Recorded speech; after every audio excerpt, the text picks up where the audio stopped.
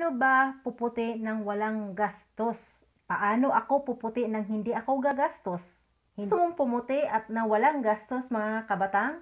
Panoorin mo tong aking video isi-share sa inyo.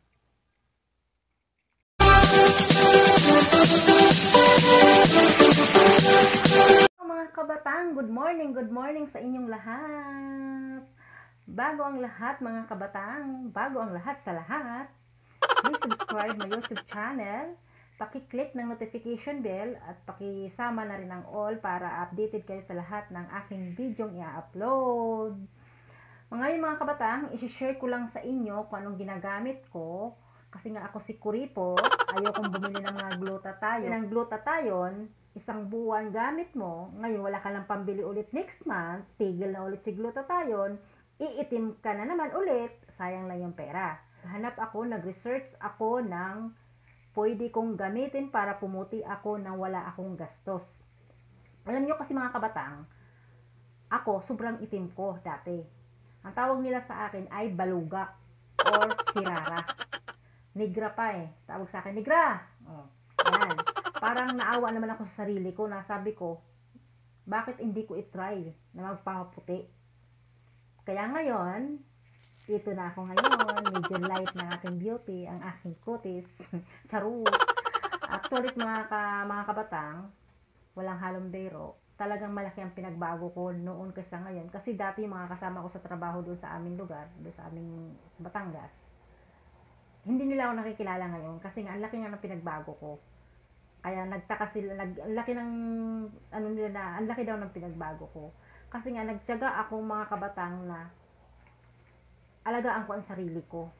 Dahil pag hindi natin ilagaan ang sarili natin, pangit na tayo, tapos burara pa tayo sa sarili na hindi natin alagaan, na pwede naman natin gawin para lumbas yung ating tunay na ganda. Dati gumagamit ako everyday. Bago ako matulog, nagbababad ako ng ng uh, sangkap na ito sa katawan ko ng 30 minutes bago ako matulog, uh, naglilinis. 'Di ba? Bago tayo matulog, kailangan natin maglinis ang katawan.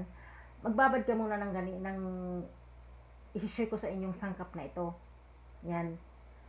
Tapos sa umaga, kung may time pa kayo, yung tira nyo ng gabi, ibabad nyo rin sa umaga bago kayo maligo. Promise mga kabatang, mayroong talagang magandang result. Basta sabi nga, kapag may tiyaga, may nilaga. Kaya ngayon mga kabatang, ang sangkap na ito ay makikita lang sa kusina. Una, gatas. Pangalawa, lemon. Pangatlo, uh, yung pag nagsaing ka ng bigas, yung, yung tubig niya, tawag nun, am. Yung tawag, ang tawag dyan ay, ano, rice water. Yung am nga, am nga ang tawag doon namin sa Batangas. Am, yun ang pinapa, pag walang pambili ng gatas, yun ang pinapadide. Naranasan ko yan, ibinigay sa aking anak, yung am na yan. Hindi ko sukat akalain na pwede pala siyang pampaputi. Ngayon, ngayon mga kabatang, imimix mo siya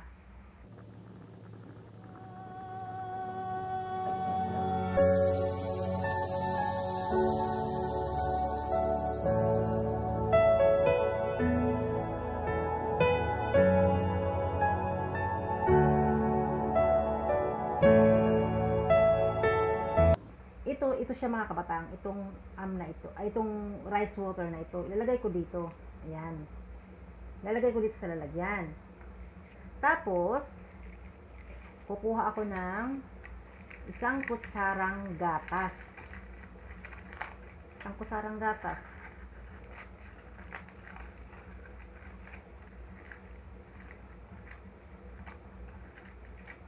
Ayan, mga kabataan, isang kutsarang gatas ilalagay ko siya dito.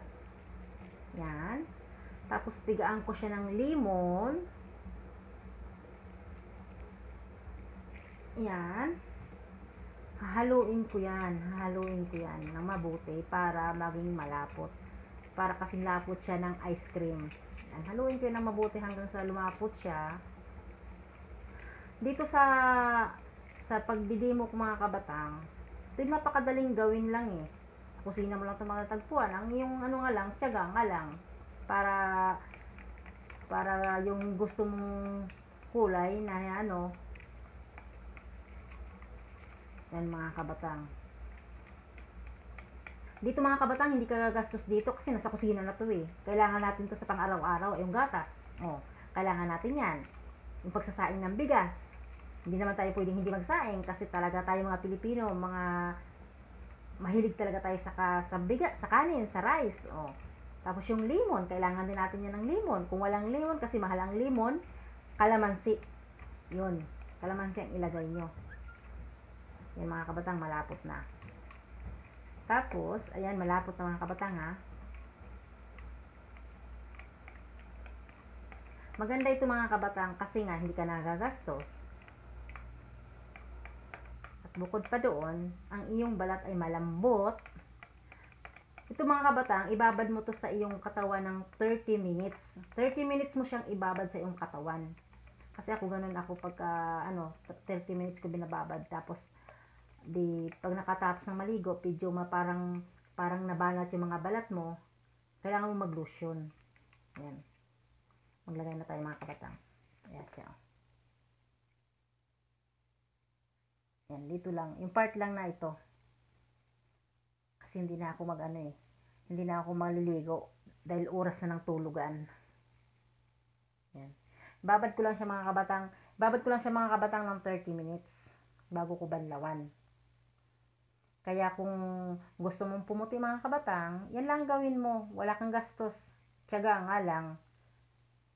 Kasi alam mo mga kabatang, yung pagbili natin ng mga whitening capsule, ang mahal niyan eh. Narabanlawan ko na. Lambot niya sa balat. Ayan o. Nabanlawan ko na. Lang ganda niya o. Smooth. Masyado siyang smooth. Pero mas maganda kung pagkatapos niya mag-lotion kayo.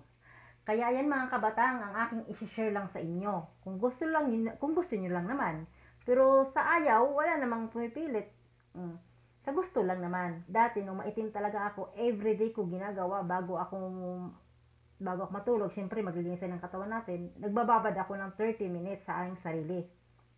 Pero ngayon, bihira ko lang ginagawa. Bihira ko lang ginagawa, okay na, kontento na ako sa kulay ko. Bihira ko na siguro, ano lang, minsan i once a week lang. Yun. Kung gusto nyong pumuti, na walang gastos, ito lang gawin nyo. Kaya hanggang sa muli mga kabatang, ang next video kong gagawin mga kabatang ay kung paano mawala ang pikas sa mukha. Ayan mga kabatang. Kaya maraming maraming salamat sa inyong lahat, sa mga nag-subscribe at sa mga new subscriber, maraming maraming salamat.